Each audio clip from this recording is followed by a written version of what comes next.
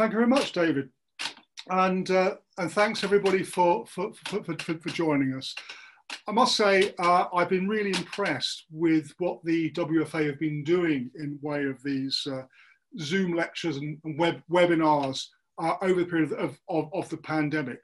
Uh, as the president, I would like to claim all the credit for it, but in fact, I've had nothing to do with it whatsoever. But I think it's been a really impressive effort by the WFA. I'd like to thank David uh, in particular, but lots of other people have, have, been involved. I think it's been a really, really good effort.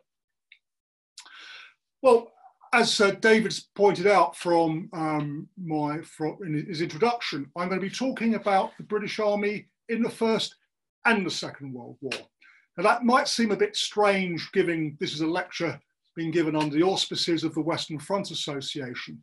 But one of the most important developments in the history of the First World War in the last 15, 20 years, I would say, is the comparative element, whether it be comparing, I don't know, the British with the Germans uh, or, or, or whatever, but actually I'm pushing it in my own work in a slightly different direction by looking at not only the British Army uh, in comparison with the armies of the Dominions in the First World War, so Australia, Canada, New Zealand, and so on, but also looking at the British and Dominion army of the armies, I should say, of the First World War in comparison with what happened to the same armies only 20 or so years later.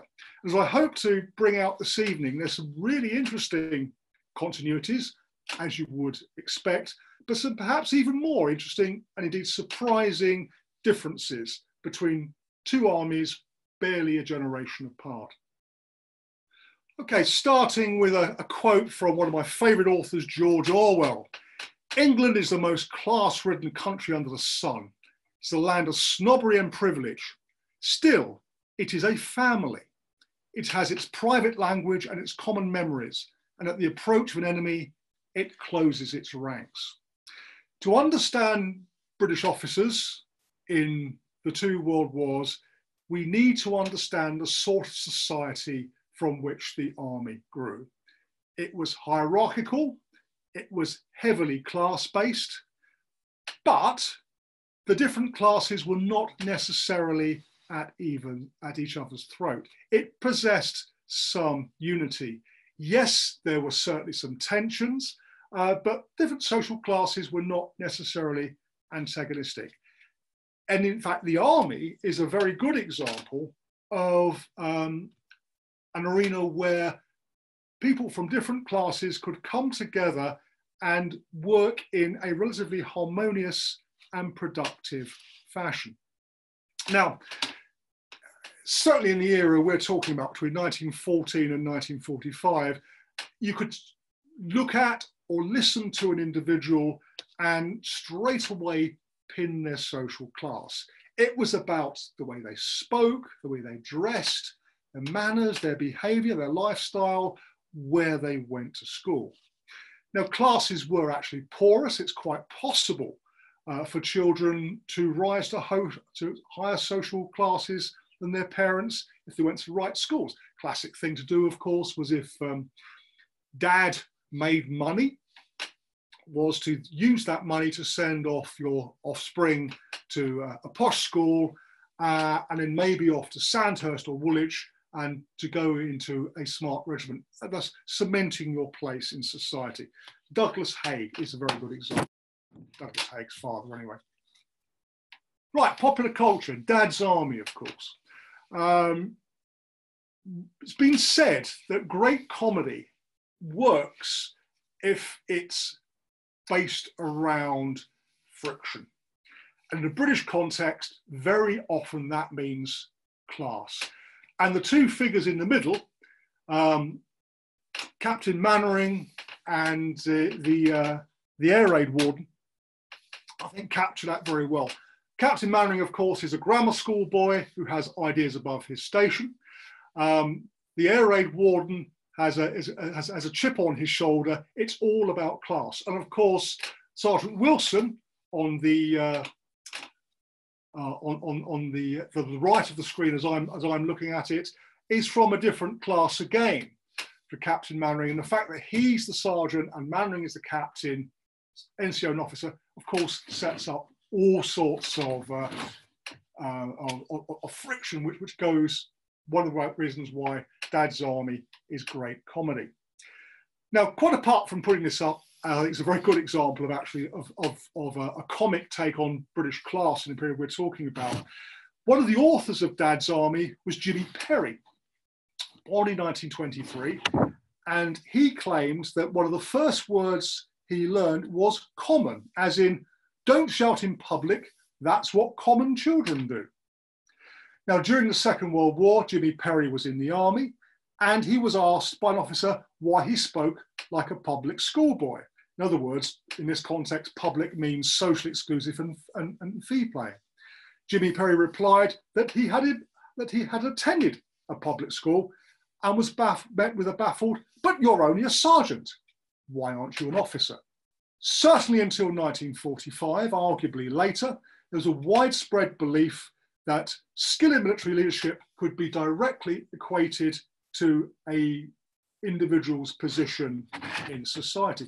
This is like is a modern version of the ancient belief that war is the occupation of the nobility and gentry. And by the early 20th century, by 1914 certainly, this meant in practice that most regular army officers had a private income and had been educated at a public school. Now, as only a small uh, proportion of the population attended public schools, defined at its most broadly, we're talking about 300,000 a year in England in the 1930s. This, of course, drastically limited the number of potential candidates for commissions. In 1914, only about 2% of British regular officers had formerly been rankers, in other words, uh, men who had passed through the ranks uh, and got, got a commission. And even some of these might have been gentlemen rankers who were posh but skint, if I could put it that way, and joined the army in the ranks with the hope of gaining a commission. Now, that's not to say that the social profile of the officer corps remains static. Um, by the, the by the 20th century, upper middle class boys were increasingly following their fathers, the army. And of course, there was also a pecking order among regiments. And aristocrats were increasingly concentrated in a few socially elite units like the Household Cavalry and the Grenadier Guards. But as war with Germany became increasingly likely in the years uh, before 1914, um, the prospect grew of the army undergoing a major expansion. And clearly, if you're going to expand the army massively, you were going to need to get officers from somewhere. But little was done to find where these officers could come from. In 1907, there was a report which recognised that on mobilisation, the expeditionary force would be short of about 4,500 regular and nearly 4,000 territorial officers. Um, and the authors of this report noted that in some armies, like the French, officer, uh, uh, officers were drawn from the ranks, but this option was dismissed because Britain did not have conscription. In other words, the explicit uh, uh assumption was that whereas in France, uh, men were drawn into the army from all sections of society, in Britain, it was only the poor who joined the army uh, below officer level, and by definition, these could not make good officers. Now, one of the things which did come out of this was the formation of the Officer Training Corps, the OTC, in 1907, basic universities and, and elite schools. Um, in some words, they, they, in other words, they acknowledged the source of office, uh, the shortage of officers, potential shortage of officers, but they didn't actually do very much about it. Now, there were some dissenters. General Sir Ian Hamilton, who in 1910 was the Adjutant General, he feared that what he described as supply of officers from the customary limited class would soon run out. And he suggested that junior non-commissioned officers, NCOs, could be commissioned in wartime. And in 1909, 1910, the Army Council took a small step in that direction by the decision to uh, commission up to 50 NCOs when the war began. But even this sort of, uh, sort of baby step was controversial. Field Marshal Sir John French was wary of large-scale commissioning from the ranks because he feared this would uh, change what he described as the exceptionally happy relationship which existed between officers and NCOs. In other words, what French thought was that working class soldiers wanted to be off officered by toffs, not by people from the same class and them as they as they were. And actually, there's a, there's some evidence to suggest that that actually was the case. The problem was partly cultural because officers had to fit into the society of the mess and live the opulent life of an officer. It was also a financial problem because living that lifestyle was extremely expensive. There were a very few, very dedica dedicated individuals. Um, Wully Robertson, the most famous one, who was a poor man commissioned from the ranks who lived a very sort of um, abstemious lifestyle and managed to live to live off his pay. But he was you know, very few people like like that. Um, so when the First World War came around, they had to improvise a new system of officers, and as I'll be arguing a bit later, they failed to grasp the nettle in the interwar period as well. In the 20s and 30s, they once again failed to broaden the officer corps to any great extent, meaning the same problem that, that occurred in 1914 came around again in 1939.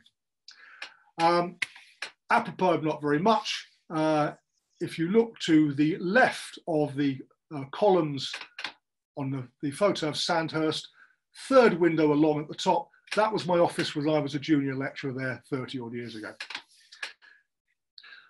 Well, of course, in August 1914, Lord Kitchener, the newly appointed Secretary of State for War, took the decision to raise a mass volunteer army. And something like two and a half million men joined between August 14 and the end of 1915. And of course, large numbers of new units were formed. Um, but as Kitchener recognised, the demand for senior officer, sorry, for, for trained officers greatly exceeded the supply. So he had to resort to various expedients. Retired officers, unkindly nicknamed dugouts, rejoined the colours. The Sandhurst and Woolwich courses, of course, Sandhurst was the, for the infantry and cavalry officers, Woolwich for the uh, sappers and the gunners. The courses were, were shortened, fees were suspended, and immediate commissions were given to uh, OTC certificate holders at, uni at uh, universities and public schools.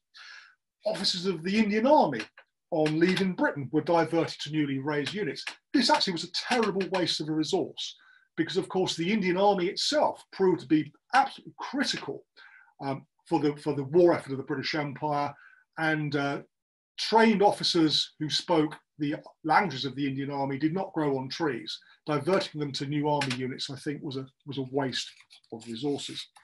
Another waste of resources was the raising of units such as the Universities and Public Schools Brigade of the Royal Fusiliers.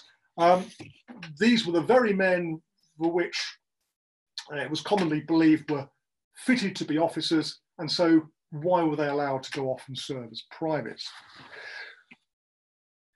The, um, the ranks of middle, uh, of, of, middle class territorial class corps, such as London Scottish, also contain many potential officers uh, and some civic raised PALS battalions. So, the, the, the so the, some of the battalions uh, of, I think it was 93rd Brigade in 31st Division, also contain lots of men uh, of officer potential. Well, well, many of these other ranks in his categories were eventually commissioned, others died on the battlefield uh, as privates and NCOs. Again, arguably a wasted resource. Well, after the fight, the, the, uh, the fighting started, the army responded pragmatically to heavy casualties among officers by instituting mass commissioning of the ranks. So, for example, in late September 1914, 105 warrant officers and NCOs were given commissions. The financial problem was partly overcome by a larger group uh, larger grant, I should say, for uniforms and equipment, and of course, messing expenses in a dugout on the Western Front uh, were much lower than they would be in a garrison in Aldershot in peacetime. And giving other ranks commissions had already begun in some units at, at home. Um, and pretty revolutionary for the British Army, officers started to be posted to regiments other than their own, which I think did something to loosen the bonds of the regiment in wartime. A critical moment came in February 1916 with the creation of officer cadet battalions, OCBs. And this rationalised officer training system.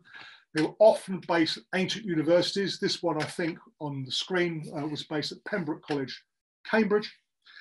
And they sought to give men from all sorts of classes a veneer of social respectability by teaching them gentlemanly manners as well as providing military training. They literally gave them a knife and fork course, teaching them what sort of cutlery to, to, to, to use and how to, polite, to behave in a gentlemanly way. A major difference between the OCBs and pre-war Sandhurst and Woolwich was that officer cadets were taught leadership. Before the war, they were not. They were assumed to have leadership qualities simply by being of the class were able to attend uh, Sandhurst or Woolwich.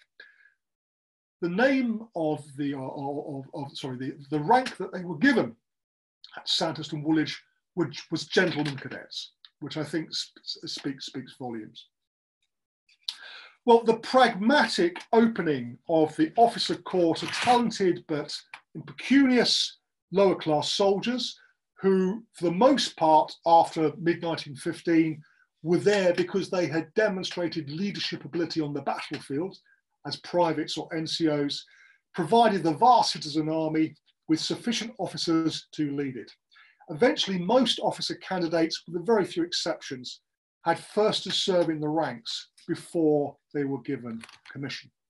Now, these commissions were temporary, hence the, uh, the snobbish jokes about temporary gentlemen temper gentlemen. And it was possible, although not easy, to convert these into regular commissions.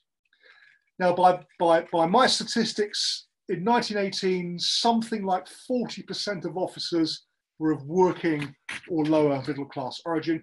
Um, one of my uh, master's students at Wolverhampton is actually doing some work on this at the moment, and I suspect that that, that figure is going to be going to be revised as a result of his work. Um, such drastic changes in the officer corps did not occur without opposition, though it was largely limited to snobbish comments about, as I just mentioned, temperate gentlemen. Providing senior regimental leaders for the expanded army presented particular uh, challenges. Uh, many serving and retired regular officers were promoted to battalion and, and, and company command or equivalent. Um, and to some extent, officers were promoted above that. Though, of course, there was in effect a, a glass ceiling in place for non regular officers. It was rare, although not impossible, for new army officers or territorial officers to rise to the rank of brigadier general or above. Well, as the war went on, I suggest that a rough meritocracy emerged and military authorities became more pragmatic by appointing sizable numbers of non-regulars to command units at major lieutenant colonel level. On the battlefield, officers were able to demonstrate their competence at, as platoon and company commanders or in temporary command of their battalion or, or its equivalent, and thus, if you like, catch the selector's eye. The huge size of the army and the heavy turnover of officers through casualties meant there was always plenty of opportunities for advancement of competent leaders. And the line between regular and non-regular officers at regimental uh, level never disappeared, but I think it was blurred to a substantial degree. But after 1918, it was a different story. The officer corps mainly reverted to the pre-war status quo. In fact, no officers at all rose from the ranks between 1919 and 1922, I was surprised to find. There was a modest alteration in the social profile of officers. The 1923 Haldane Committee, um, uh, chaired by Lord Haldane, stated officers should no longer be drawn from any one class of the community, and its proposals aimed at democratising the process of officer recruitment, with more candidates being sought from grammar and even secondary schools. But little was done in practical terms to address the huge financial hurdles stopping lower middle class and working class uh, men from becoming officers because life in the officers' mess continued to be expensive. And there was still no viable career path for senior NCOs, warrant officers such as sergeant majors, uh, to become officers. Well, even if it had been financially viable, why would uh, a regimental sergeant major, a hugely respected figure, exchange his position for that of a wart or lowly subaltern? There was also some problem recruiting officers from the traditional sources, traditional classes. Among other factors was the backlash against the losses of the Great War and the emergence of the disillusion stroke futility narrative, and which produced in the late uh, 20s and early 30s a short-lived period when pacifism was intellectually fashionable, um, which made military service very unfashionable. I think again, I think it was George Orwell who said that it was uh, unfashionable even to know which end of a, a rifle the bullet came out of. Well, this was the context in which, in the mid to late 1930s, the War Office sought to broaden the social base of the officer corps. Uh, Lord Willingdon, in 1937, chaired a committee which produced a, a report. Uh, Willingdon's uh, uh real name was uh, uh, Freeman Freeman Thomas, which I thought was a wonderful combination. And um, the Willingdon report envisaged that a proportion of officers should be commissioned from the ranks and, quote, the wider the net is cast, the greater the chance of securing men of ability to officer the, the army. In particular, they were looking to grammar schools, which were selective and fee paying, but not as expensive or socially uh, as, as ex socially exclusive as officer schools, uh, as, as, public schools. And these were seen as uh, potential sources of officers, as of course they had been during the Great War. Well, this was a bit more than a modest step in the right direction. The problem was uh, the Willingdon's proposals were overtaken by, uh, by events, namely the introduction of conscription in 1939, and of course, in pretty rapidly, rapid order, the outbreak of the First World War, uh, the Second World War. In any case, this sort of radical view did not find favour with everybody. Uh, in a very revealing comment, a very senior officer, General Sir Walter Kirke, argued that drastic measures to attract a new class of officer whose entry in any considerable numbers would probably have the effect of curtailing the existing supply from the superior classes would be a bad thing. In other words, he did not see the need to broaden the, uh, the background from which officers were drawn. Reminiscent actually of a comment in 1923 on a proposal for using the ranks of the Territorial Army, as the TF had been renamed, as a source of officers in a future war. Uh, the comment was, as in the First World War, the door might be, quote, inconveniently wide. In other words, there was a large dose of social snobbery going on here. By 1939, 30 places at Sandhurst and six at Woolwich were reserved for regular NCOs, 23 years of younger. Um, but actually, a fair number of those were gentlemen rankers. They weren't actually working classes at all. So, thus, on the eve of the Second World War, the exclusivity of the regular officer corps remained pretty well intact. It continued to be dominated by products of public schools. In theory, the steps taken by the War Office in 1939 to provide officers for the expanded army were more efficient, more egalitarian use of manpower than 1914. So immediate commissions were granted to suitably qualified men, OTC certificates, But once immediate needs um, had been satisfied, all except a very few specialists, all officer candidates had to first serve, serve in the ranks. So far, so good. Actually, you dig beneath the headlines, old patterns soon asserted themselves. In the early part of the war, commissions, uh, um, candidates for commissions were very largely ex-public school boys and regular NCOs. In other words, the picture was not very different from that of 1914-15. Well, the same sort of tension between the regulars and the territorials commanding command appointments that marked the mobilization of 1914-18 resurfaced during the Second World War. In March 1940, the Army Council decided to remove some pre-war TA commanders and replace them with regulars. But in fact, this process had already begun. Lieutenant Colonel Donald Dean, uh, a Great War Victoria Cross winner, was removed from command of the 4th Buffs in October 1939. His divisional commander told him that he just did not want to have any territorial commanding officers because they could not possibly be as efficient as a regular officer for similar length of service. Well, this was tough on someone like Dean, but actually it wasn't entirely unwarranted. Dean was a victim of a major weakness of the army of 1939-1940, the lack of standardized training. So much depended on the views of individual commanding officers and lacking the extensive pre-war training of regulars, TA units were particularly vulnerable to poor quality leadership. So the, so the, the clear out of territorial COs is understandable if tough on individuals.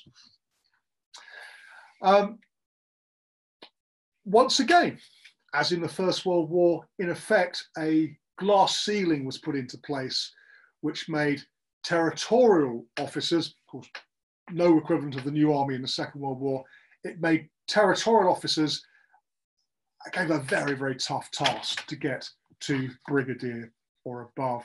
And we must question whether this was an appropriate use of manpower.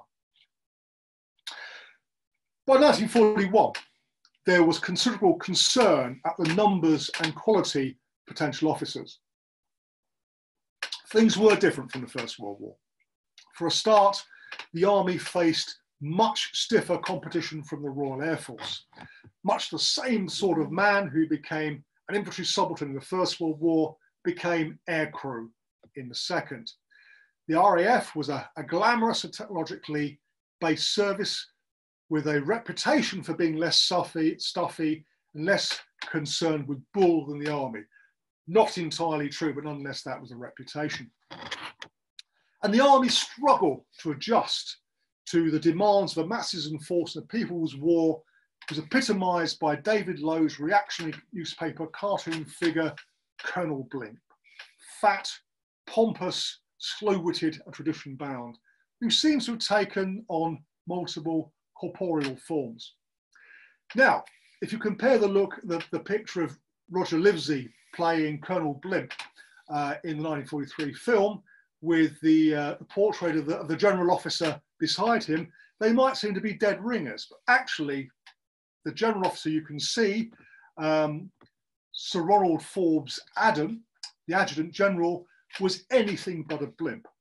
He was liberal minded, um, a Daily Mirror reading, Labour voting, uh, Wykehamist, liberal minded and willing to make radical changes. He's one of the, the, the great unsung heroes of the British Army in the Second World War.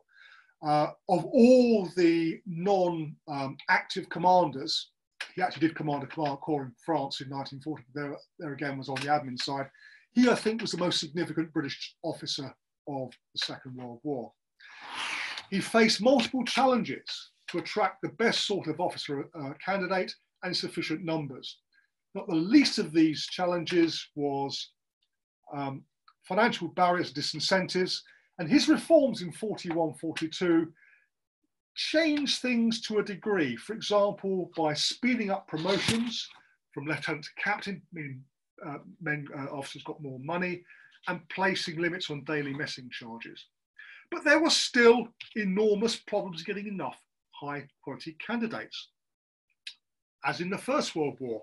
Some COs were simply unwilling to put able rankers forward for commissions because they wanted to keep their best men. Even if potential officers were put forward, they then had to pass an interview board. These tended to be biased against candidates from non-traditional backgrounds, or more subtly, in favour of ex-grammar school boys. A social step down from the public school boy, but regarded as being the next best thing. By spring 1941, some three quarters of newly commissioned officers did not have a public school background, but this figure actually concealed continued class bias in officer selection. About a quarter of the men selected for an officer cadet training unit, an OCTU, failed to complete their training, which led to shortage of officers, and the quality of some OCTU products left something to be mm. desired. But in 1942, uh, two significant things happened. PSOs, personal select, personnel selection officers, basically talent spotters, were introduced, uh, and so were WOSBs, War Office Selection Boards. Now, these were much more scientifically based, which include, including psychiatrists and psychologists. Now, the failure rate at WOSBs was high, but nonetheless, the supply of candidates rose uh, by 65% by bid 1942. And by, by 1943 45, the rate of failure at OCTUs was down to 8%. So, though imperfect, the system introduced by Adam in 1942 did result in a distinct improvement in the quality of officers being commissioned, and generally the system was seen as much fairer. But nonetheless, the system struggled to keep up the demand for officers, especially for the infantry. Just as on the Western Front 25 years earlier, high intensity attritional fighting, such as in Italy and Normandy, for which read the Somme and Passchendaele, took a heavy toll on infantry officers. By 1944, the, the logistic and support tail rivaled the teeth portion of the army in terms of size. Now, this led to vacancies in posts which you know, weren't sinecures, but they did allow uh, officers to avoid the highly dangerous job of being an infantry platoon commander. One soldier turned down um, commanding platoon in favour of becoming a lieutenant quartermaster.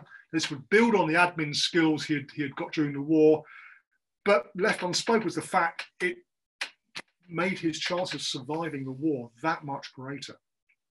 Now, the shortage of infantry officers was ameliorated to some extent by the CANLOAN scheme, by which volunteer Canadian officers were seconded to British units, um, which actually proved to be highly successful, which says a lot for the compatibility of the different branches of the Imperial Army.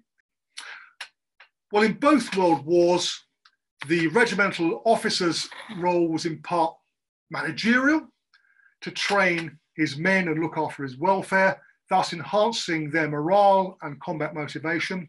But the other part of it was combat leadership. Paradoxically, this involved putting their men in harm's way by sending them or physically leading them into battle. This could place great demands on officers. Um, so much depended on how the Tommies, the other ranks, regarded the subalterns. Um, two examples there on the screen. A newly commissioned officer uh, wrote of the strain of constantly setting an example of the men, well aware the men were always watching him. Now, during the First World War, trust was aided by the essentially deferential nature of Edwardian society. People knew their place, officers, at least the public school ones, uh, knew how to treat their men in a paternal attitude. Um, Downton Abbey has been, uh, you know, criticised by historians. One thing I think they do get right is the relationship between the classes, at least in theory. The idea of uh, of, uh, of paternalism being given in um, response to, uh, to deference. I actually had dinner with uh, Julian Fellowes, who wrote Downton Abbey two or three years ago, and we're chatting about this. After I told him that, he told me that I was the first historian who ever said anything positive at all about Downton Abbey, which, if true, that's a bit tough. But officer training in the Great War taught paternal va values to men who lacked a public school background. In other words, they were, they were given a crash course in how to behave towards their social inferiors in a military sense, even though they may be from the very same social background as the men they were going off to command. Um, poor morale was often linked to poor uh, leadership.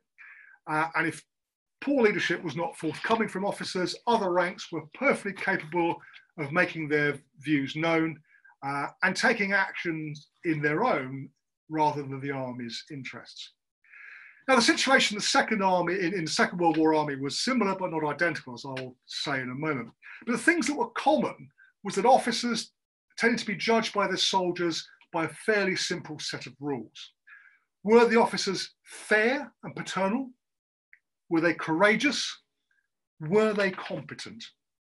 To some extent, though less so in 3945 than in 1418, when officers scored highly in the first two categories, get away with a less than stellar performance on the battlefield, especially if he was inexperienced.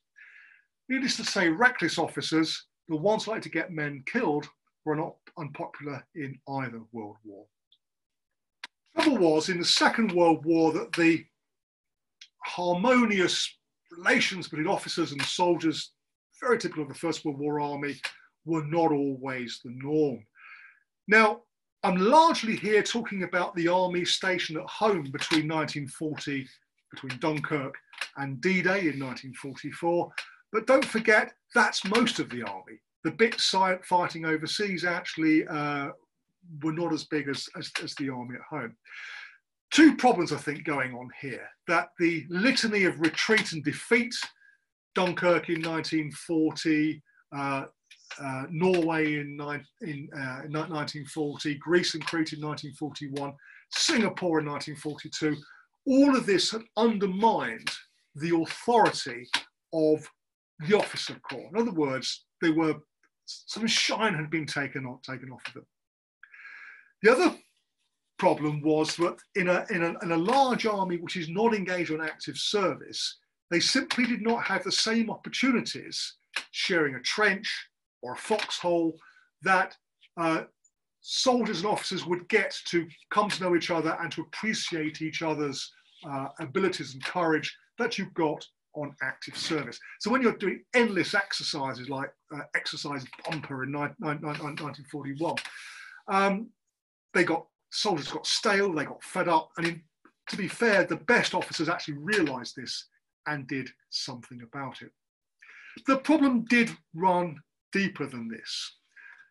Retreat and defeat between 1940 to 42, I think, reinforced the um,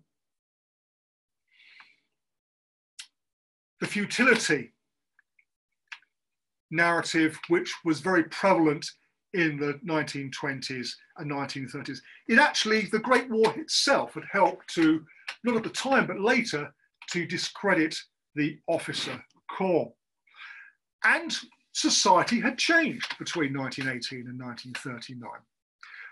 As a general rule of thumb, the higher a soldier's social class, the greater resentment of officers' privileges tended to be. Older men and trade unionists also tended to be more critical.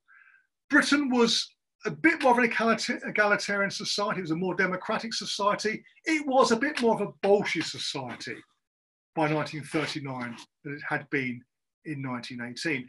And I think one of the key problems the army had was that, with exceptions of people like Adam, and indeed in a different context, Montgomery, senior officers at first failed to realise this. This whole officer-man relations thing, I think, needs to be placed in context of the swing to the left in British society, which resulted in Labour's victory in the 1945 general election.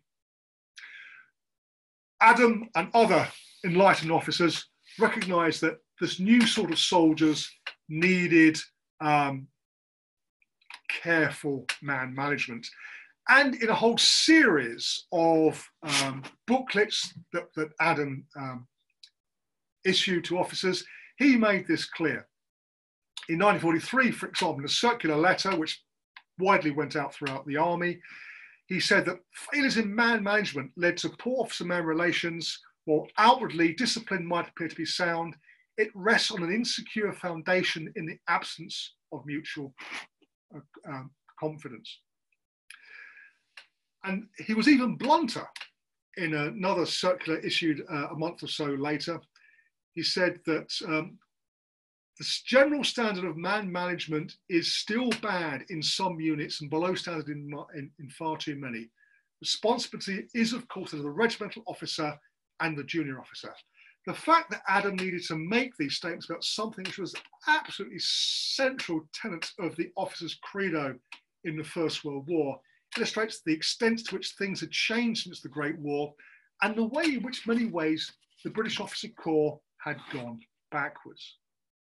Well, officers of conservative views placed the blame for poor officer uh, poor man management on officers from non-traditional, that is, non-public school backgrounds.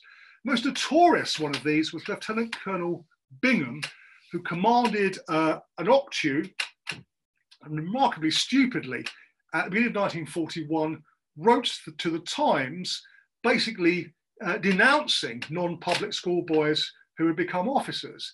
He said that uh, the attitude of mind of looking after their people um, simply wasn't there. That, that, that it was only possible uh, to, to generate this from public school officers.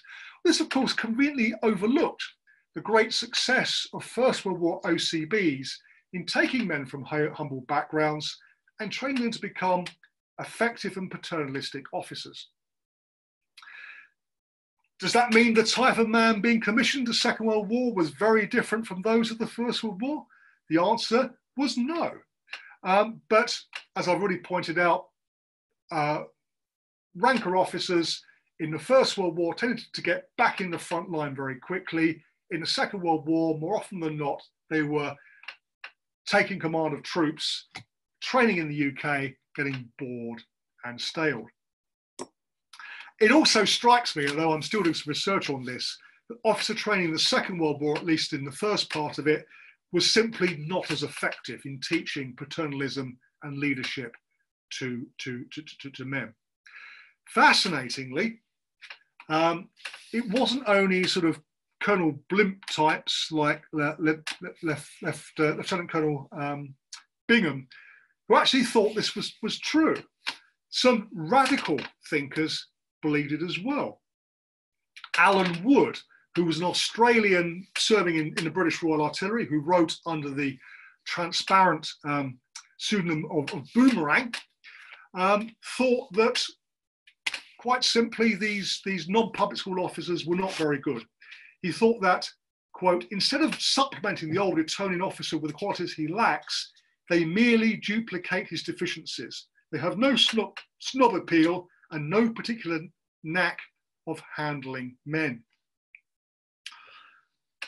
And this actually does seem to have a fair amount of truth in it, that actually the training was simply not good enough to turn these non-public school officers into the sort of officers, officers needed uh, for an army in a people's war, unlike the training 25 years earlier.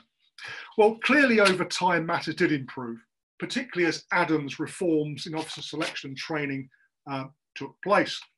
For example, in 1942, John Gorman attended a Royal Arm, Armoured Corps OCTU at Sandhurst, where it was taught leadership and the motivation of one's men and the code of behaviour expected of, of, of a British officer.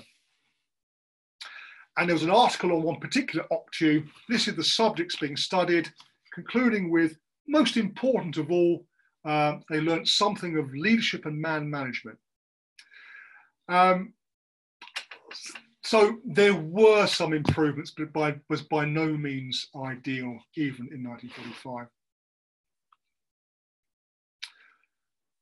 Well, the big difference, I think, is that relations between officers and men on active service.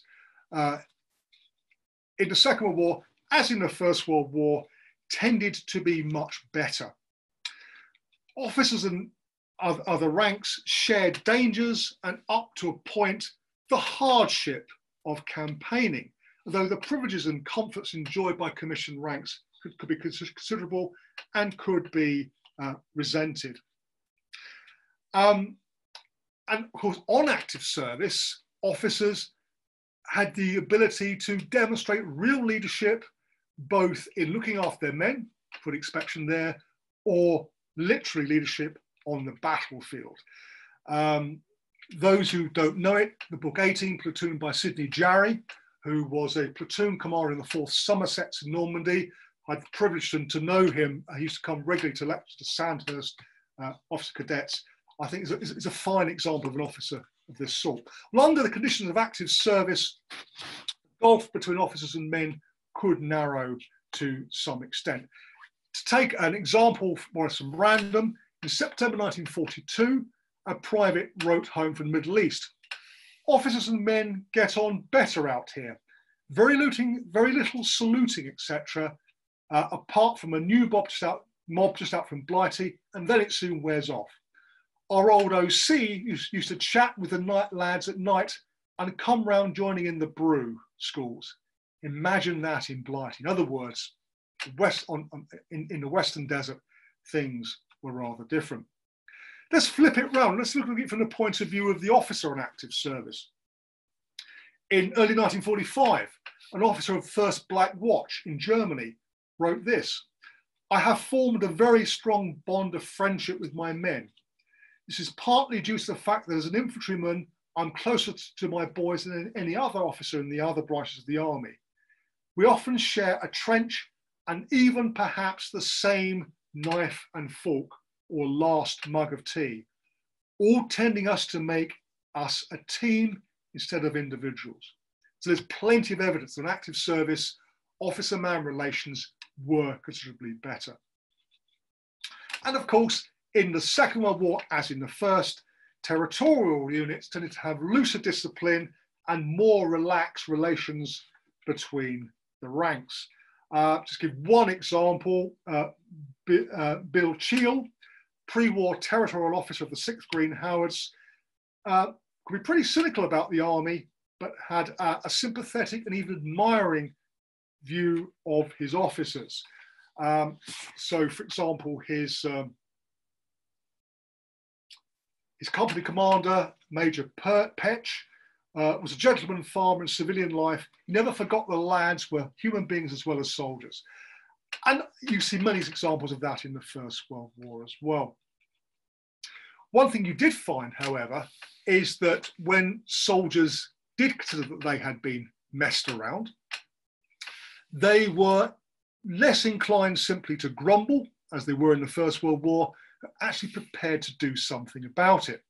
So, for example, the Second Royal Gloucestershire Hussars, uh, uh, veterans of desert fighting, a TA, TA Yeomanry uh, uh, tank regiment, were horrified when the new CO came out from England, tried to impose a surfeit spit and polish on the regiment. This was a territorial unit which was actually a, a, a veteran unit in, in, in, the desert. Officers became very ang angry, but many of the other ranks wrote to their MPs and others to higher command, or they wrote to Picture Post or the Daily Mirror. A very, very typical attitude of the sort slightly more bolshy soldiery of the Second World War than the First. Two more points um, before I come to conclusion. The first one is that I've talked mainly about, I guess, teeth armed soldiers here, infantry, artillery, armoured corps. We should never forget that very large numbers of soldiers, both in the UK or in base areas such as India or Egypt, were doing jobs that were basically civilian jobs, such as repairing and surfacing equipment, equipment or working in offices uh, as clerks. Now, it's really testing uh, for officers to provide leadership for their men because they were denied the opportunity to experience increasing into rank comradeship on active service while doing, frankly, often very, very boring uh, office jobs or, or, or, workshop jobs. One senior officer commented in 1942 that technical units, ordnance and signals, for example, are deficient in management uh, because their officers really weren't trained to lead their soldiers. This did become better later in the war, but um, it was always a problem uh, and, and, a very different one from that faced by the infantrymen. Let me finally give uh, an example of how relationship between soldiers and their officer could change. Lieutenant Lyle arrived direct from the UK,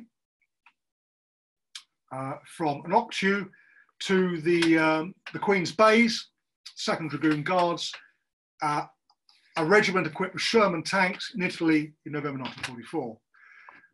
He was described in the diary of one of his, uh, one of his soldiers, Trooper Jack Merewood, as a real twerp. He was a rookie, and after the troop leaders we'd had, this one had no idea how to handle men, especially someone who had been abroad and roughed it for years. Well, worth noticing that the, the emphasis on man management skills in OCTU does not seem to prepare Lyle for the command of a veteran tank troop. This problem was exacerbated by the fact that an officer was part of a tank crew was inevitably thrust into a greater degree of intimacy with his charges than, say, an infantry platoon commander. Also, the lack of automatic deference given to Dial simply because he was an officer, uh, to Lyle simply because he was an officer uh, by, by Merewood's striking. But this was the beginning, not the end of the relationship. Um, and on January the 6th, 1945, so two months or so later, we find Merewood writing, we were gradually training our Mr. Lyle, introducing to him to our way of life. He began to realize that the only way to live in harmony was to be, to a certain extent, one of the boys. We didn't take advantage of him. After all, he was an officer and had a lot of responsibility as our troop leader. Um, but it was impossible for him to try to live the life he'd here he'd been taught in officer training school. The leadership techniques that Lyle had been taught at OCTU collided with the reality of life on campaign. Within two months of arriving in theatre, he'd had to adjust his leadership style accordingly. But Jack Merewood recognised the importance of boundaries even the cramped confines for tank, to some extent, officers, officers and other ranks existed in separate spheres, and it was recognised by both sides that this was important. Okay, let's conclude. So I think that the effectiveness of regimental officers' leadership in battle needs to be placed in the wider context of the combat performance of the British Army. For both world wars, older works, 20, 25 years or so older, tended to stress the weakness and ineffectiveness of the British Army in 1418 and 3945. But modern historians stress that in both wars, the army underwent a learning process and over time became highly effective.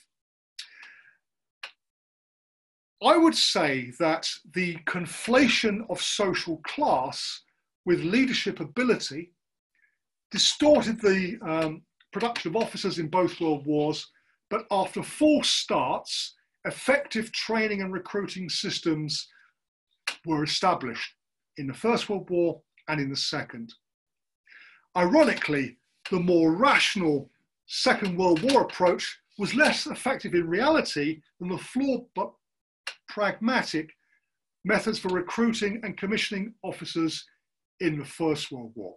During the Great War, um, a military medal and a proven combat record did a great deal to overcome the handicap of an officer lacking the right social and educational background. Uh, Colonel Jack Dimmer, for example, promoted from the ranks, won the VC, uh, brought up in my neck of the woods in South London, pre-war regular. Um, in the Second World War, it's probably more difficult than that. Major John Howard, DSO, who led, of course, 2nd Oxon Bucks Light Infantry at Pegasus Bridge in Normandy in the early hours of D-Day, betrayed, uh, portrayed, I should say, in the film The Longest Day by Richard Todd, ironically himself a veteran of Pegasus Bridge, he was portrayed by Richard Todd as a toff. That's how Hollywood expected a British officer to be. Actually, he was a former ranker who had left the army before the war, had become a policeman in Oxford, came back into the army, and was commissioned through the ranks. A very, very hard but effective officer. Regimental officer, regimental leader level leadership, uh, for all that, in both world wars, was of crucial importance in the British Army's path to victory, both in 1918 and 1945. As a report stated in 1944, regimental officers were match winners, but they could come from any social class providing they possess the right qualities and are fully trained. By 1918 and 1945, that was becoming true. Thank you very much indeed. Thanks very much indeed, Gary. That was that was tremendous. Uh, Love that. Um, truly interesting uh, presentation. And in the best traditions, if everybody enjoyed that, if you'd care to raise your hands as a sign of applause on, on the computer there, and it's is the numbers there. That's uh, very gratifying thanks to see. Uh, so thanks very much indeed for that. So it's now Q and A time. Thanks very much. Uh, everybody can uh, lower, your hands now. That that's fine. Thanks also to the three volunteers, Rachel, Pete, and, and Michael, uh, for that. I'm just going to. Uh, um, stop your your three videos uh, if, if, you don't mind. Right, so um, question time. Let's have a look. So the very first question that actually came in, well before the actual talk started, um, Gary, was from Malcolm Sperring Toy. Malcolm asked, are there any books covering the subject of other ranks being promoted to officers whilst in the field and were they returned to Blighty for officer training in places such as Sandhurst? So thanks for that, Malcolm. Oh, well, th th thanks, Malcolm. Um, yeah. Um, there isn't a full-blown book on it as far as I'm aware.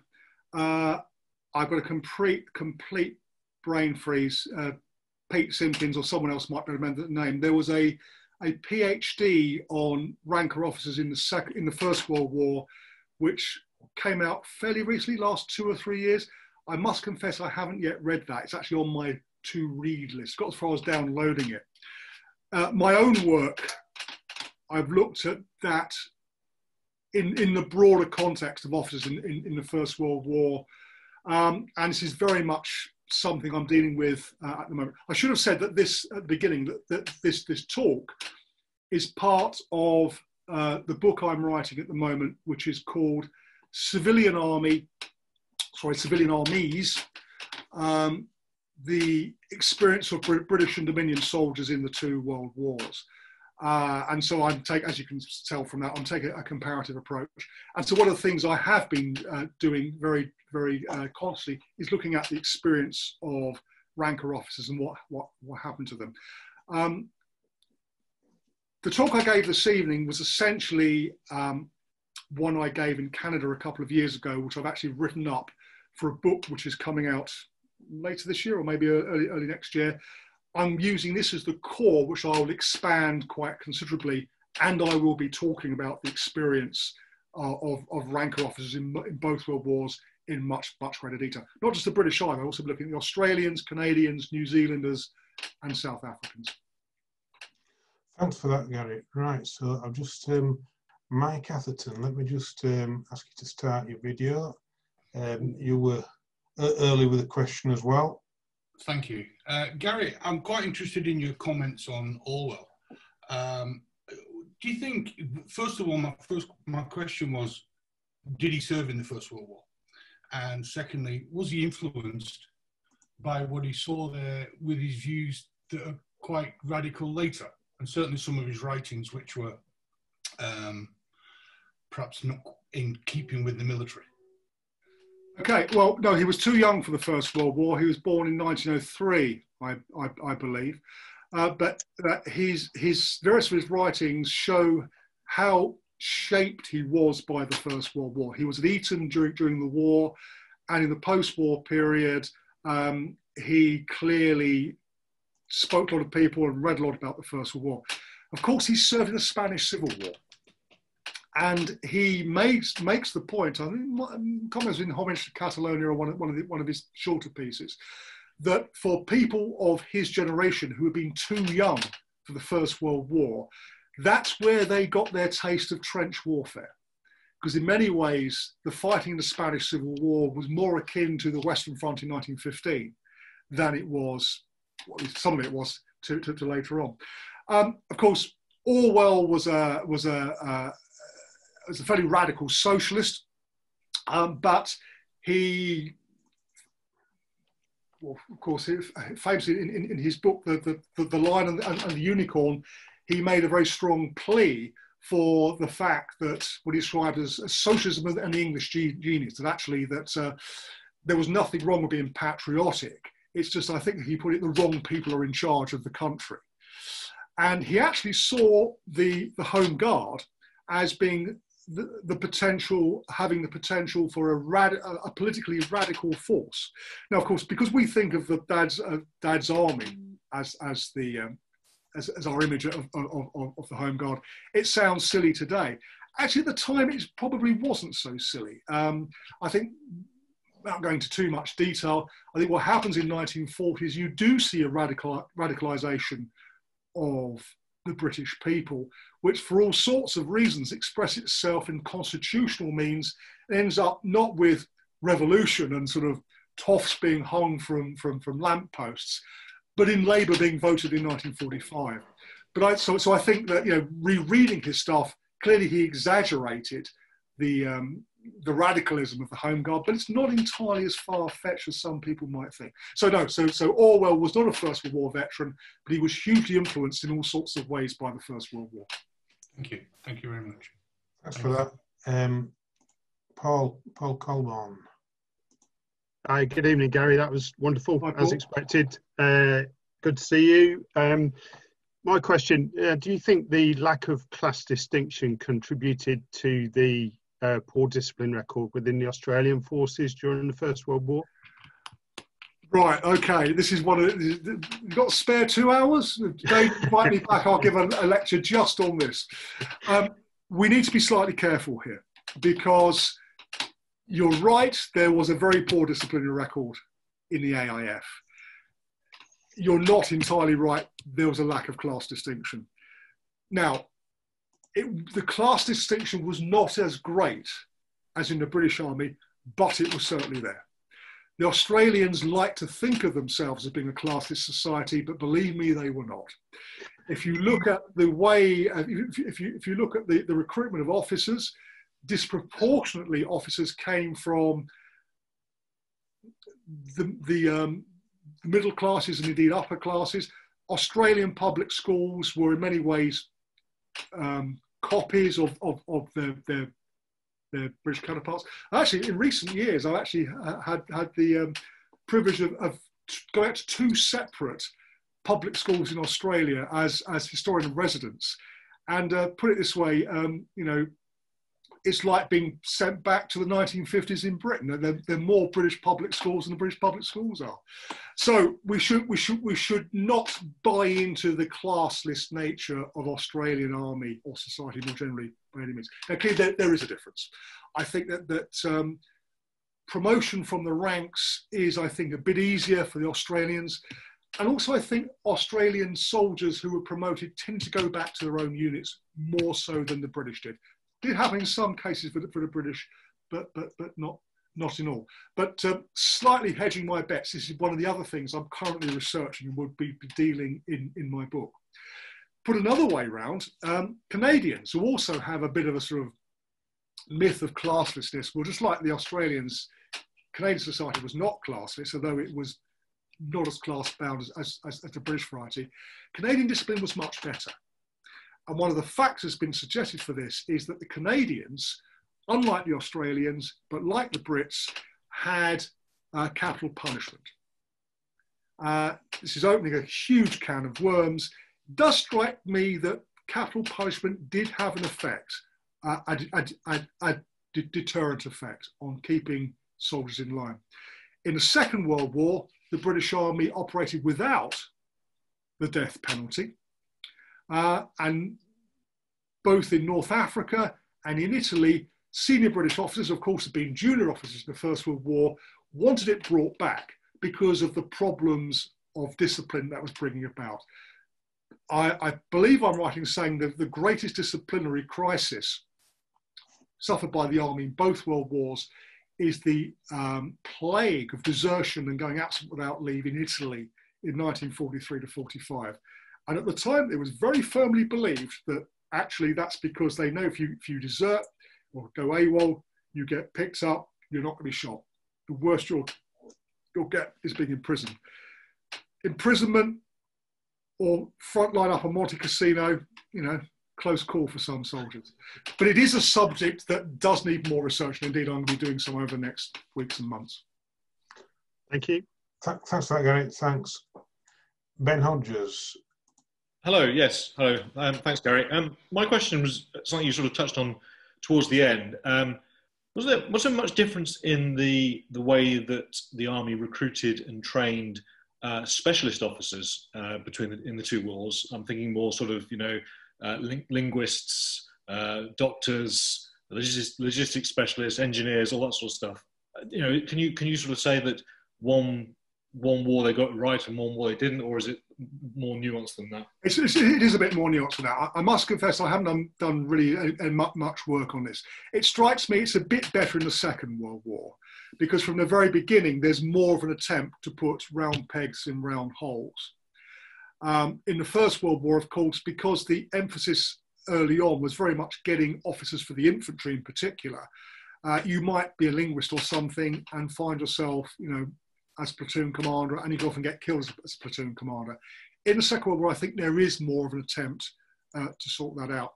And in both World Wars, from the middle, middle of the war onwards, the exception to serving in the ranks before getting commission is for certain sorts of specialists. So you can actually still go in to the army, um, you know, as a specialist in, in, in, in, some, some, some sort of way.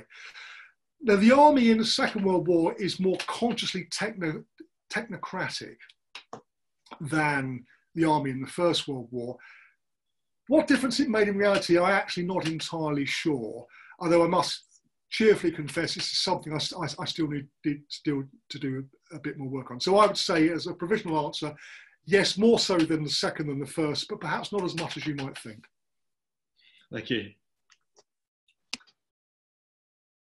Stephen Manning. Stephen. Good evening, Gary. Thanks for your oh, presentation. Another blast from the past. How so? Stephen. um, was there any material difference, Gary, in the leadership qualities demonstrated in territorial units between Great War and the Second War?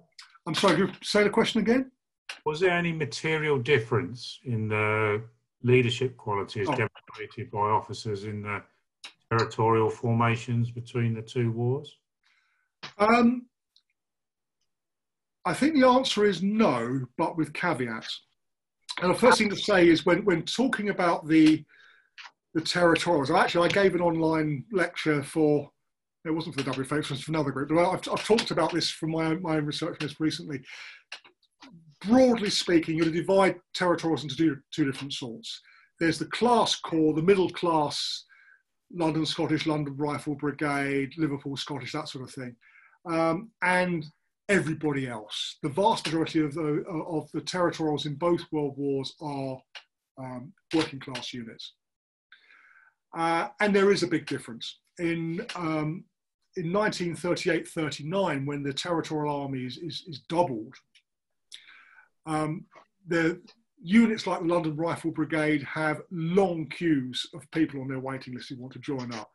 And as the uh, commander of the London division at the time says, there's no way that someone who wants to join the London Rifle Brigade would join the Tower Hamlets Rifles. You know, uh, a, pub, a, public school clerk isn't going to go off and join a, a, a, bunch of chippy cockneys.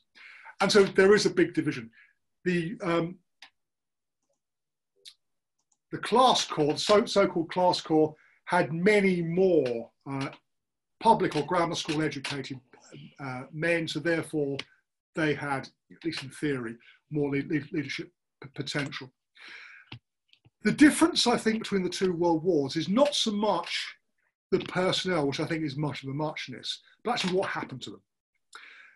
For the territorials, um, in, in the First World War, they were committed very, very soon. to the Western Front.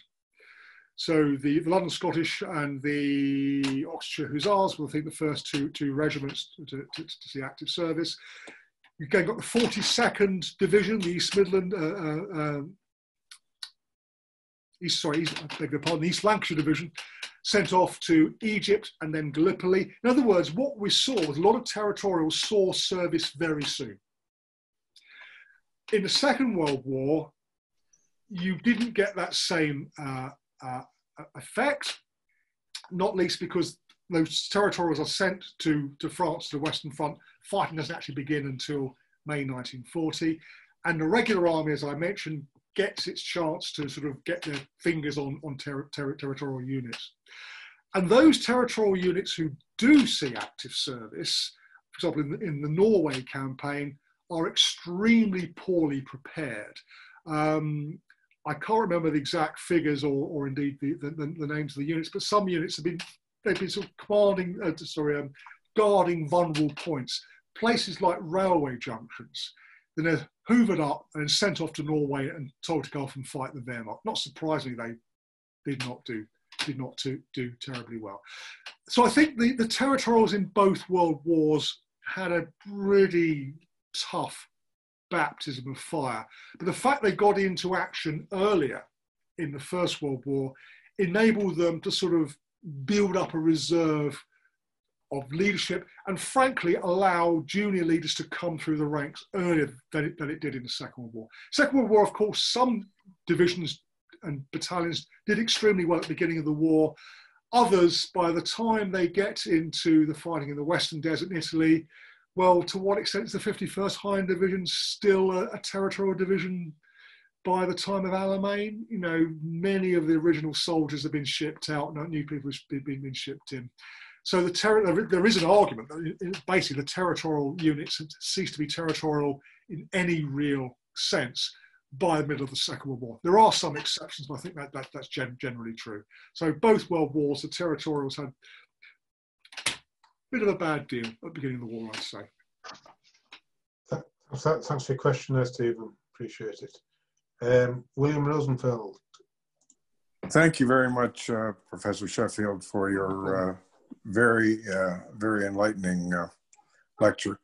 My comment or my question really relates to the contrast between the Canadian and Australian armies and the, the British Army.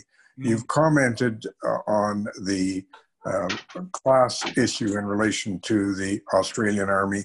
There are many in Canada um, uh, and Canadian historians who, who might wish to have a discussion with you on that regard because. Um, oh, believe me, I have. pardon me? Believe me, I have, with the likes of yeah. Tim Cook and so on. Yeah. So, um, uh, as uh, one who is familiar with the uh, quasi public school system in Canada, I would suggest there is a very large distinction. However, my question is related really to the glass ceiling. Uh, both uh, the commander of the Canadian Corps and the commander of the Australian Corps were part time uh, soldiers at in, in 1914. And um, Monash Currie succeeded to uh, com- Corps Command in contrast to the British Army, where such senior positions were never occupied by uh, non professionals. So um, I'd appreciate your comments on the different structures of the Canadian and Australian Officer Corps corps in uh, relation to the British Officer Corps? Sure, thank you. Um, I, I maybe Pete, Pete Simkins can correct me. I don't. I think the highest ranking British non-professional soldier was a major general. There, there, there, were two or three divisional commanders who were not regulars, but I, I think you're right. No one got to corps command in the First World War. Um, well, the, the difference is that basically Australia did not have a regular army at all, effectively, before 1914.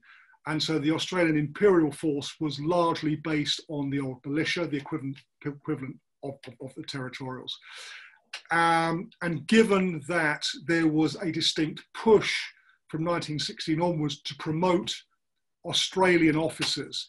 Many of the senior officers of the AIF in 1914, 15, 16 had, of course, been British on, on secondment. Because there was a push to promote Australians, they were going to have to be um, part-time soldiers, ex ex ex militiamen. Um, so that's understandable. And of course, um, oh, complete brain freeze.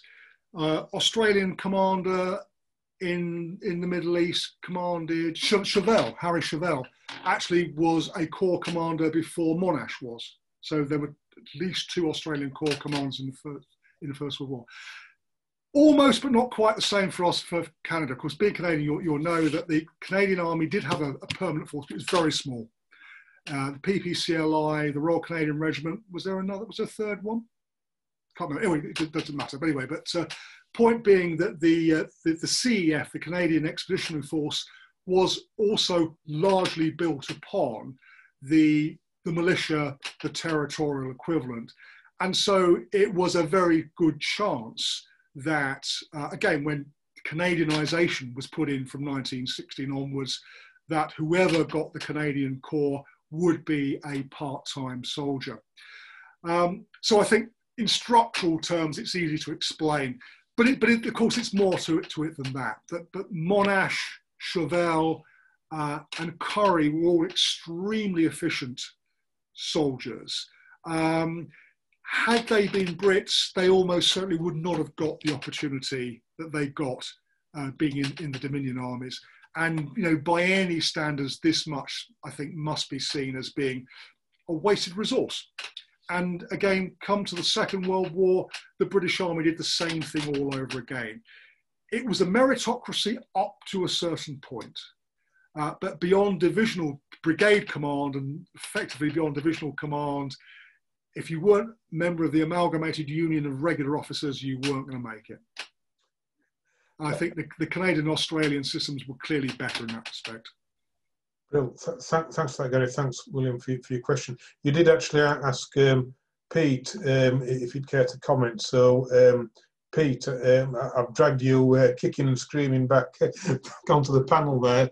Uh, you, um, let's just see. Yeah, you're live, Peter. Do, is there any you want to come in there on, on Gary's point? Well, just, just that we need John Bourne here at the moment, I think, with, uh, with generals. Um, I, I, I, can add that I think in 1918, only 11 territorials had reached brigadier general rank.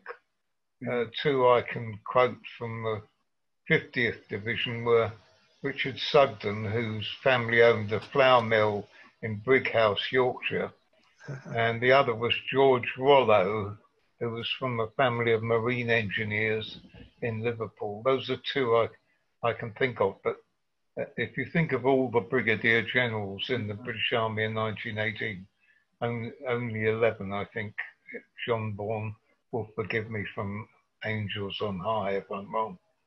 Uh, so that, that would give you an indication. Yeah, th- thanks, Pete. Well, one, one, one I, I, can add another one to, to your list. Noel Lee, commanded the Manchester Brigade uh, at Gallipoli, uh, who was uh, he he was um,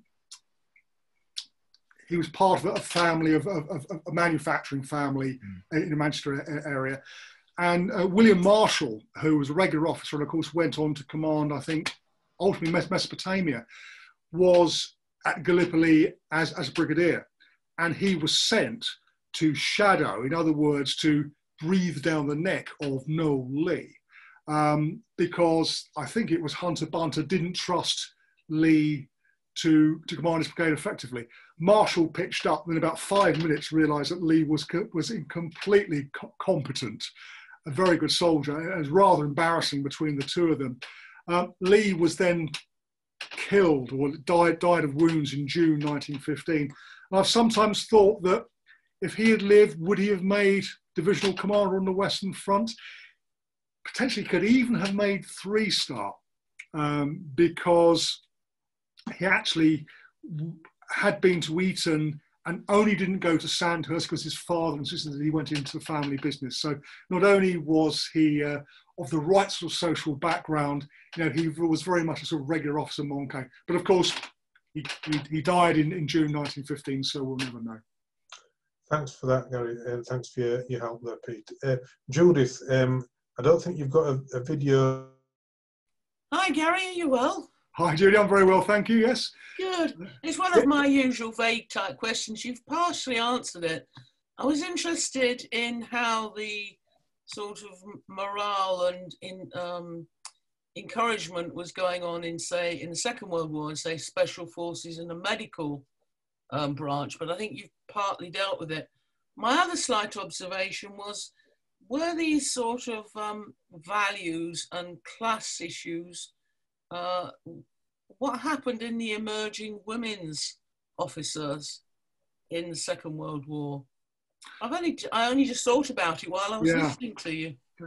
Uh, well, I, again, I, I, I would declare largely my ignorance uh, on this, but to say that uh, a book by one of my very good friends, uh, Jeremy Crang, who's a professor at the University of Edinburgh, um, he's just about to produce a book on women's services in the Second World War. So that's that's the thing the thing to read.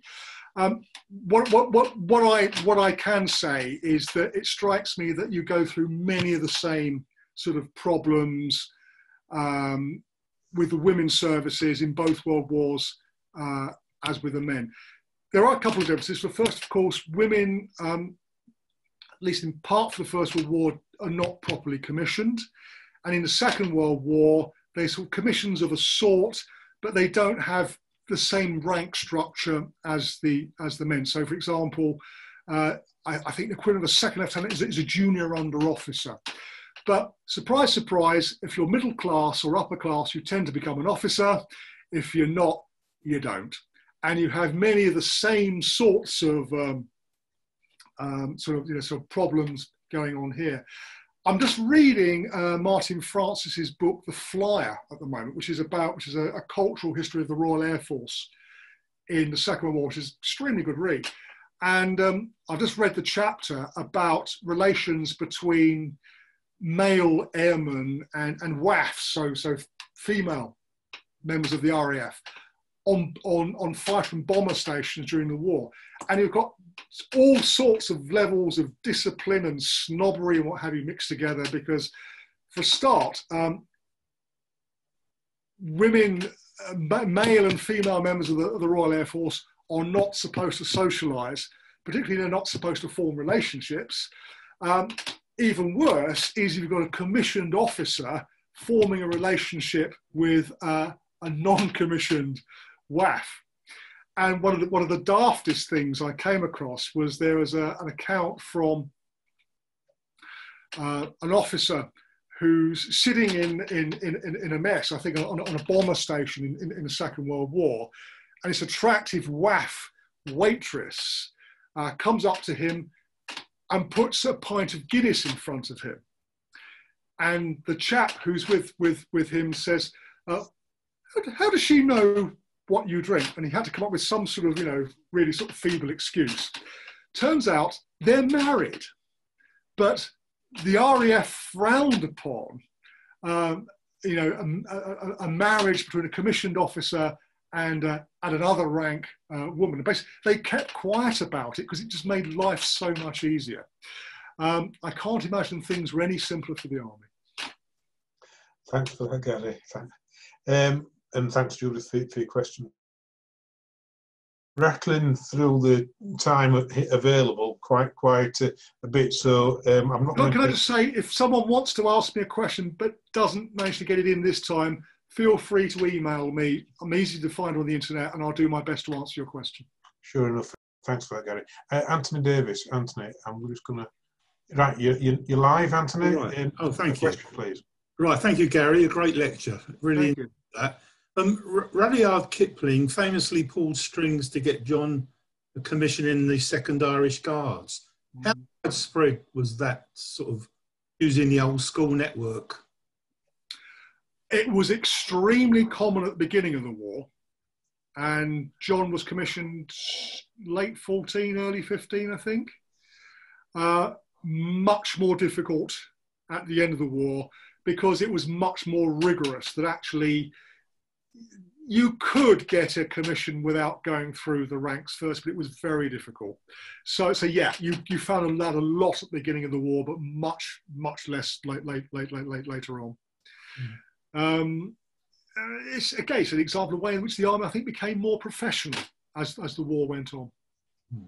Okay, thank you. Uh, thanks for that. Thanks for your question, um, David Snape, I'm going to uh, come to you next, and then um, after David, we'll go to Gordon for the last question. But David, it's all yours. Hi, Gary. Just like old times, listening to you. How are you?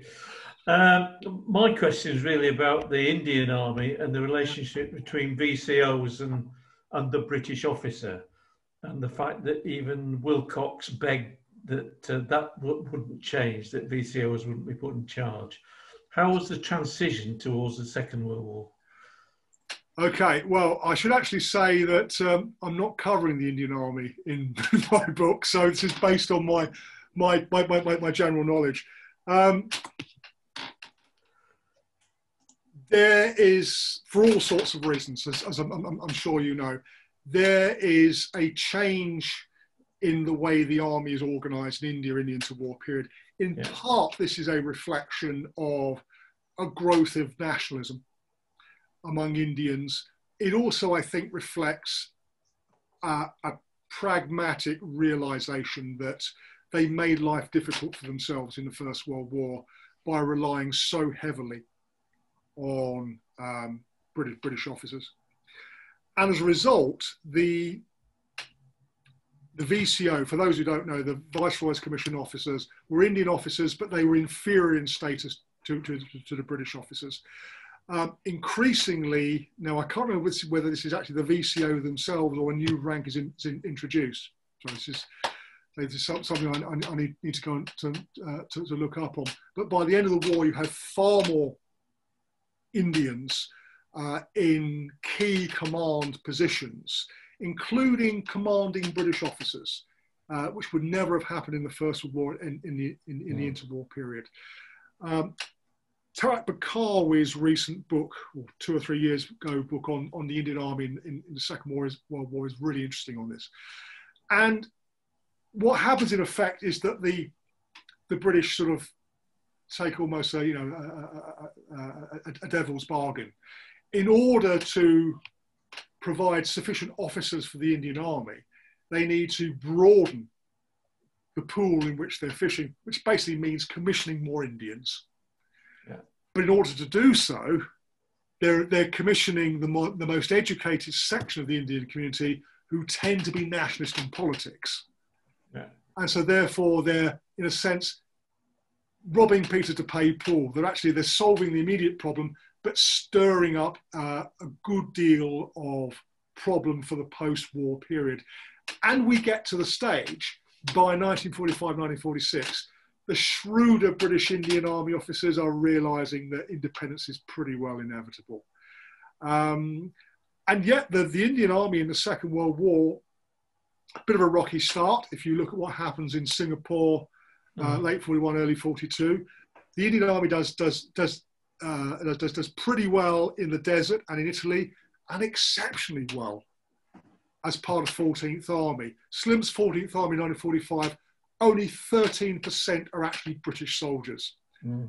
There's some East Africans, West Africans, the bulk of people are from the Indian subcontinent. Yeah. So basically, this is an Indian army uh, winning the war. Yeah. And Indian officers at all levels play a really key role in this. Um, yeah, we can be counterfactual, go back to the First World War, because the Indian Army also does pretty well in the First World War as well. What if they'd actually broadened the officer corps of, of the Indian Army at that stage? Would it have simply meant you know more nationalists earlier, or would it actually have sort of cemented um, the Indian middle classes more firmly supporting the Raj? We can't know, but but clearly the the Indian Army is a remarkable organisation in both world wars, and in, in in the Second World War, I think it does exceptionally well, and not least because of the number of Indian Army uh, Indians it actually takes on board as, as officers. Thank you. Thanks, David, for your question. Thank thanks. Um, Gordon. Thank you very much, David. Um, Gary, How did good afternoon, good evening. Excellent presentation, by the way. I enjoyed it enormously. How did the British Officer Corps compare with those of the, the French and the German armies in both wars, really? Okay, um, start with the French. The French army in 1914 has got a very high percentage of promoted rankers as, as officers, uh, mm-hmm. which is, of course, in part that's because it is a conscript army. Now, um, it's, it's, a few years since I did any reading of this, and people might have come up with more research on this recently, but my, my memory is that despite the fact that you have that you have uh, this strong basis of, of people who've served in the ranks who are now officers, relationships between the ranks were not particularly good. In part, that's because I think officers uh, or soldiers, probably truthfully, thought their officers knew too much about the tricks that soldiers get up to. And also because the French officer corps did not have this sort of paternalistic ethos embedded in it in the same way as the British officer corps did. Um, and that's one of the reasons why the French army has this huge mutiny in 1917 is because the French army officers are simply not very good ensuring that the mail comes up, that troops are well fed, that their feet are expected, the sort of things that sort of, sort of bread and butter to British officers uh, is, is not so common in the French army. In fact, one of the things that Pétain does when he comes in in 1917 is to try and change that. Um, French army in the Second World War, I don't know enough about to comment. German army in the First World War, um, if you read Alex Watson's book, can't think what it's called, but anyway, but it's, it's, it's, a book which came out about 10, 15 years ago, which compares morale in the British and German armies in the First World War. And what comes out of that is the, Brit- the German army is actually much closer in many ways to the British army than you might expect. The German army, certainly in British eyes, are all sort of robots, you know, marching all over the place and what have you. In reality, he says that German soldiers are much, um, on the whole, probably more reliant on self discipline, which says something about the relationship with their officers. And like British officers, German officers do have a paternalistic streak, although my reading of it is that it's not quite as strong as in the as in the British British Army. Second World War German Army, of course, it's very different because uh, the the old um, um, Kaiserreich army uh, is is an old is a is an, an old an old school army the Wehrmacht and the SS, of course, is ideologically based. Uh, it, it's, it's reliant on absolutely ruthless discipline. Now, it's not to say that good relations could not be built up between soldiers and officers, but there's always the fear of the officer's pistol or of, you know, the, the, the Germans don't exactly have political commissars, you know, but falling out of line and sort of, you know, ending up with, with, with problem problems that way. So whereas the, the, the British Army of the First, Second World War is recognisably the same in terms of officer-man relations as, as, as, the German, as the British Army of the First World War, I think the contrast between the German army of the two world wars in terms of morale and discipline and officer-man relationships is actually quite different because of the ideological element you get in the Second World War. Right. Super. Th- thanks ever so much indeed for your question, Gordon. Thanks for the answer there, Gary, and thanks uh, for, for, for answering all of those questions. Um, I tried to finish about half past nine generally, um, but we've overrun, which is a. Can I, can I, can I just have a quick plug for my course? Uh, by all means, plug away. Absolutely. Well, at, at, least half the people asking questions this evening are graduates of the MA in the history of Britain and the First World War we run at the University of Wolverhampton. We're still recruiting for October uh, this year starts. If you're interested at all, please do get into contact. We also run a sister course on the history of the Second World War and uh, a part-time online course on, on, on, military history. All, all of them part-time, aimed exactly at people like you. If you're interested, please do get in touch. Thanks for that, Gary.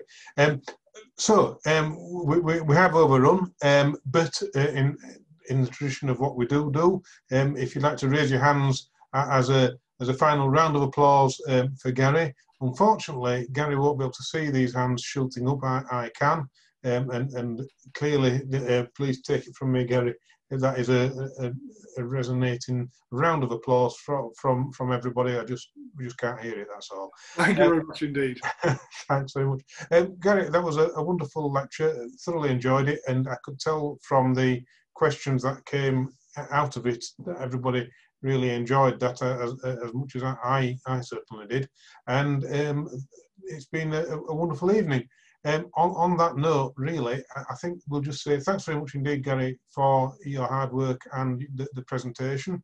And um, everybody who's watched this, please, um, if you've not a member of the Western Front Association, please do join us. Um, if you uh, are interested in listening to more of these, we're having a break next week uh, being Bank Holiday Monday. Um, we're, we're, not going to run a, a, webinar, but we'll be back in a fortnight's time um, with um, Jim Beach and uh, and, uh, and and his co-pilot Jock, who will be talking about uh, British signals intelligence in, in, the First World War. So that's one uh, to tune into um, and register for if you're interested. And a very final plug from me is going to be uh, the Western Front Association 2021 calendar is currently working its way through the system. So if anybody uh, wishes to purchase a calendar for next year, watch this space. Um, uh, it's not a requirement to, to, buy it, but these webinars are being run um, free of charge. So um, if you'd care to just uh, um, buy a WFA calendar just to recognise the, uh, the, the, the work that's gone into these webinars, that would be splendid. Anyway, that's enough of the commercials. and um, Gary, thanks very much indeed. Um, and uh, good evening, everybody. And I'll see you in a couple of weeks' time. Thanks very much. Thank you. Good night, everyone. Good night. Mademoiselle from Armentières,